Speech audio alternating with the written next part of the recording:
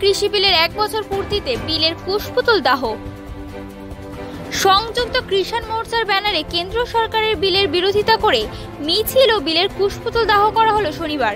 এদিন একটি মিছিল করে এসে আসানসোলের জিটি রোডের উপর ভগৎ সিং মোড়ে জমায়েত তা সংযুক্ত কিষাণ মোর্চার সদস্যরা। সেখানে কৃষি বিলের বিরোধিতা করে কালা দিবস হিসেবে পালন করা হচ্ছে বলে জানালেন সুখবিন্দার সিং। তিনি বলেন, গত বছর থেকে এই সময় কালো কৃষি বিল চালু করে সরকার। এক বছর হয়ে গেলেও সেখানে কৃষি বিল ফেরত নেয়নি সরকার। তাই আজকে তারা প্রতিবাদ স্বরূপ কালা দিবস পালন ও কৃষি বিলের কুশপুতুল দাহ করছে। 2000 पिछले साल भारत सरकार की तरफ़ से कृषि के तीन काले कानून पास किए गए थे। आज उसका पूरा एक साल हो गया है।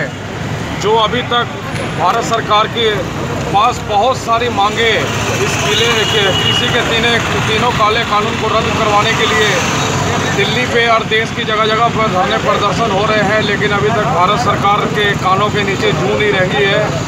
इसलिए आज हम संपूर्ण क्रांति दिवस के तौर पे आज इस दिन को हम काला दिवस फिर से मना रहे हैं कि आज इस काले कानून का पूरा एक साल पूरा हो गया है, इसलिए आज हम पूरे आसनसोल डिवीज़न के लोगों का सहयोग लेकर फिर से भारत सरकार के पास मांग कर रहे हैं। हम हमारे आसनसोल शहर भगत सिंह मोड़ चौक पे ये जो तीन काले कानून पास किए गए थे, इसे रद्द किया जाए और आज हम सारे लोगों के सहयोग से आज जो ये बिल है उसका एक हमने मूर्ति बनाई है जो उसको आज हम यहाँ पर ये बिल को जलाएंगे ये हमारी मांग है भारत सरकार के पास कि इस तीन कालो कानून को जल्द से जल्द रद्द किया जाए আসানসোল থেকে সৌমিত্র গাঙ্গুলির রিপোর্ট টাইমস বাংলা